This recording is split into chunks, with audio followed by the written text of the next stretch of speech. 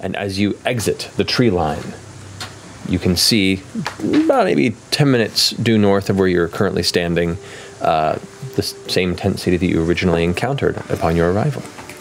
Making your way in that direction, as you get closer and closer, you can see some of the.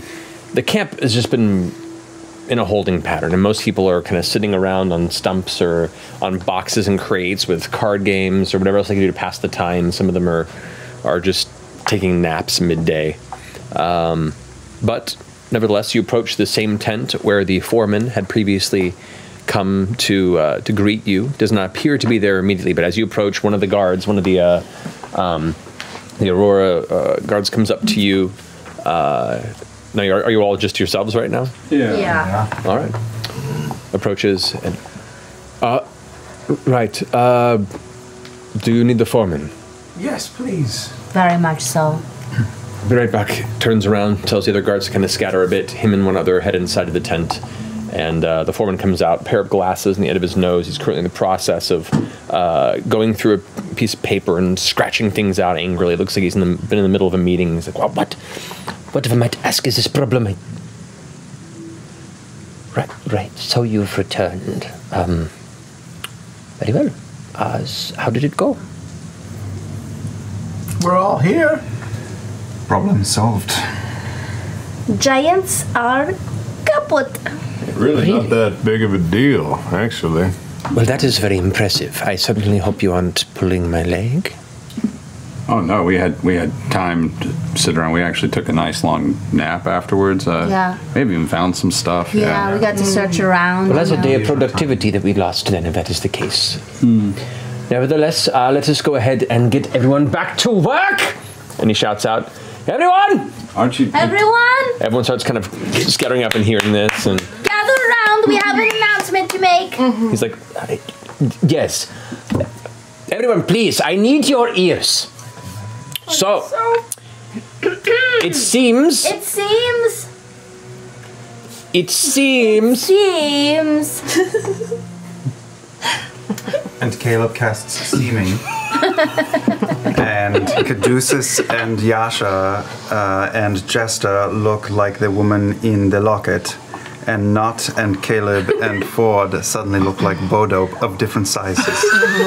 All right. Now he's currently not looking at this. He's looking out towards the group and goes, It seems that these fair uh, mercenaries have been able to remove the giant problem.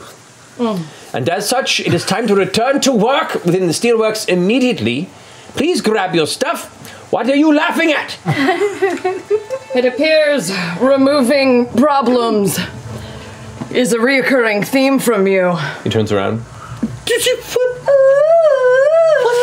oh, what happened? It looks like he's I seen pick a, up bow and I I would say up. a ghost, but I'm not. Uh, it's not Attention, really workers of the mine. We have a very important announcement and news from the mining front. It appears He's like trying to hide you, the three of you, but there's too many of It you. appears your wonderful foreman Bodo is quite the poet. and has a mistress. Poet? The po- poet, the Bodoit of the poet. We shall be reenacting such a poem for mm-hmm. you all. I hope you enjoy this wonderful performance. we give you the Bodo players! Everybody, everybody. Everyone's like, they're in. He's like, hmm. mm. Bodo, your art deserves to be shared. Just let it happen. I'll give you gold to stop. Ah. My dearest Lorna, That's me and Oh. her and her. just as your namesake suggests, you Lorna in my loins. Oh, wow. Night after night, as I lay underneath the stars in oh, this encampment, Crumples to his knees. the only encampment I can think of is the warmth of your embrace. And the soft, supple bosom that you have invited me into. I grab Nott's little Bodo and push it against my butt. As I snuggle this lambskin, oh, oh. I think of your curly hair Oh shit. laying on the depths of my Oh, stomach and loins. He's, he's crawling towards you in the mud, the rain just completely soaking him. Please, please stop. I think about the time that I confessed to you of my romance and digestion. and the nervousness that you alight in the depth of my bowels. oh, that's lovely. Oh, wow. I thaumaturgy fart wait, noises. you- I thaumaturgy fart But you held my face and told me, I love every scent that comes from you. I grab Fjord's face and I say, I love every scent that comes from you. Moo, moo, Kiss him, kiss him. And I don't kiss him. Ah. He passes out It- into the mud.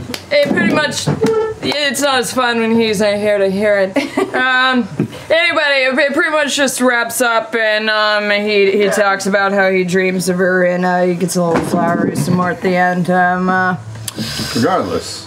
but yeah, that's the story of Lorna. We bow. Everybody, Oh, regardless. oh, regardless. Regardless. God. Some more clapping and cheers. You see a lot of the folks seem to be particularly enjoying this entire display.